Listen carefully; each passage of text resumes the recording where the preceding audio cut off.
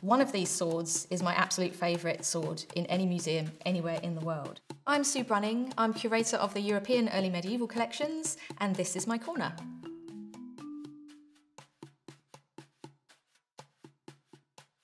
So today I'm going to talk to you about my favourite artefacts in the museum, which are early Anglo-Saxon swords.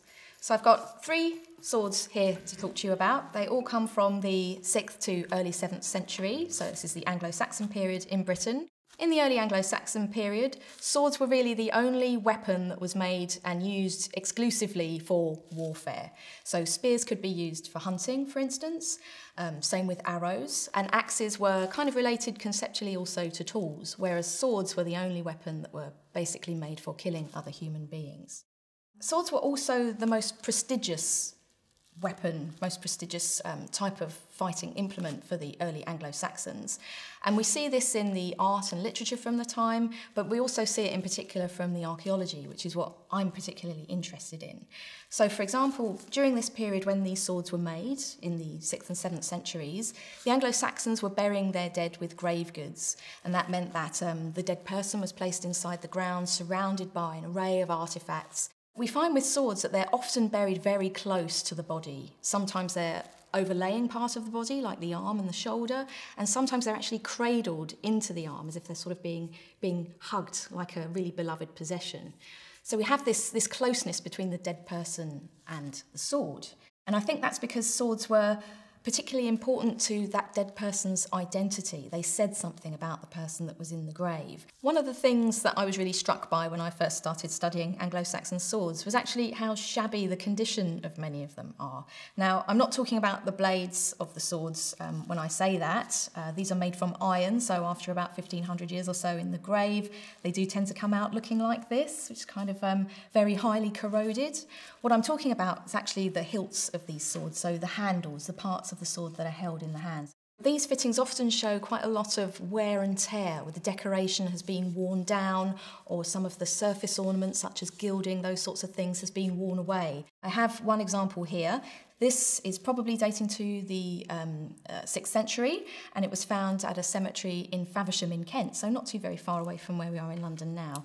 And the part that I want to talk to you about is the pommel, which is the piece at the very end of the handle or the hilt of the sword here. Now, if we take a very close look at the pommel here, we can see that this decoration that runs along the front, there's a line here, starts to disappear towards this end. And also on the top of the pommel here as well, we have quite deep sort of almond-shaped slashes that have been gilded, so uh, covered with a layer of gold. And we can also see where the depth of those starts to become shallower, where it's worn away and become kind of um, just less distinct and, and, and less, um, less deep. In order to demonstrate how the pommel got into that condition, I have a handy prop, which is my trusty foam sword. Here's one I made earlier. So just stand up. Now, in this period, in the early Anglo-Saxon period, uh, swords are normally being worn on the left-hand side, like this. And uh, so that means we have it kind of here, and that means also that um, it forms kind of a handy hand rest for the sword. So you can see, you know, how this would be quite an attractive place to sort of rest your hand and, and strike a, quite an authoritative pose. But what that also means is that this part of the sword here, which is the top part of the pommel, which is the same one that I pointed to on the sword on the table there, is becoming worn, and that's what I've used these pins to demonstrate, because the sword's always being worn like this and the hand is resting on it like this. And so over a period of time, that's where we see the wear start to um, materialize on those parts of the sword there. And that's exactly what we find on our sword from Faversham.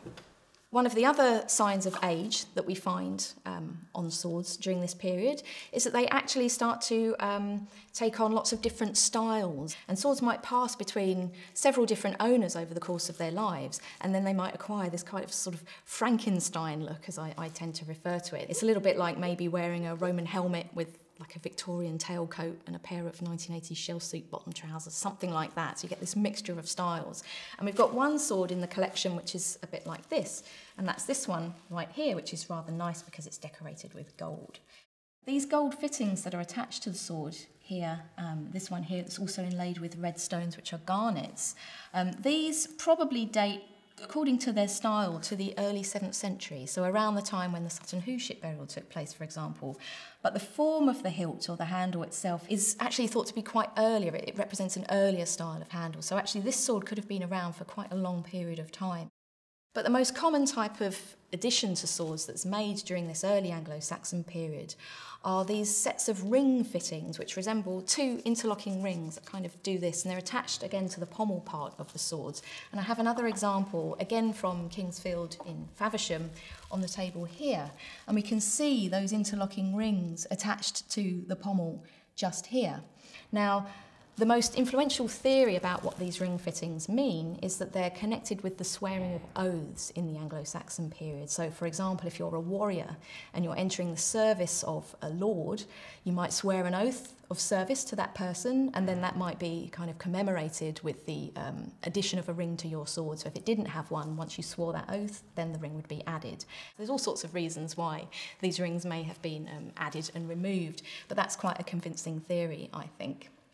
So by looking at these, these rings and the mobility of these rings, the addition and removal of fittings, which we've talked about with these two different swords here, we can start to see actually how swords can build up their own biography. They can start to create a life history of events and people that they're related to. The Anglo-Saxons didn't really seem to be too bothered about hiding those blemishes or making those differences blend in. Um, they were quite happy for these sort of mismatched things and these, these scars of life you know, for want of a better description, are quite front and centre and, and are there for everybody to be able to see. And that starts to suggest that there's this idea that actually age and experience are um, something to be to be kind of boasted about or something to be shown for, for everybody to, to see. So an old sword is a dependable sword. It's proven, you know that it's faced a lot of fights, it's come through those fights and it's, it's been dependable. A new sword might look very shiny and very nice, but actually it's, it's got no credentials, it's got no track record, it's, it's got no kind of wins underneath its belt. Whereas an old sword is something that, that, that feels familiar in your hand, it's not alien in your hand. And so it becomes almost like a comrade rather than a tool. Then we start to arrive at the reason why this sword, the plainest one on the table, is my favourite sword in any museum anywhere in the world. So if we come and take a look again at the pommel, which we looked at earlier, we've already seen that this is an old sword that's seen a lot of wear during its life. But its owner, one of its owners, has left us the tiniest little message, just the ghost of a message, which is really packing an emotional punch. So very close up onto this, you might just be able to see the faintest trace of a rune. Now, runes are Anglo-Saxon letters, which look a little bit like twigs, lots of straight lines, and uh, they're being used in this period um, to make inscriptions, including the one on this sword. Now, um, this is an ash rune, which looks a bit like a modern day F. So it's kind of like an F, but the cross pieces at the top are angling downwards like that. So it's, it's very much like an F. Now, a poem survives in an Anglo-Saxon manuscript. Uh, we call it the Old English rune poem, and that tells us all of the meanings of the various runes.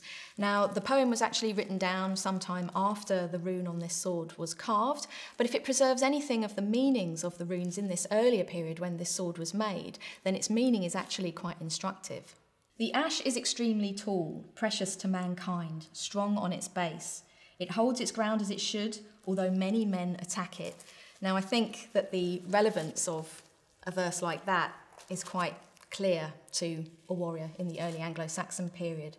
So we can start to build a picture of the warrior who owned this sword carving this inspirational rune upon his sword, something that would give him a kind of um, strength and uh, inspiration to face what was probably still a terrifying prospect, even though warfare in, in those days was, was much more commonplace than it is for the rest of us today.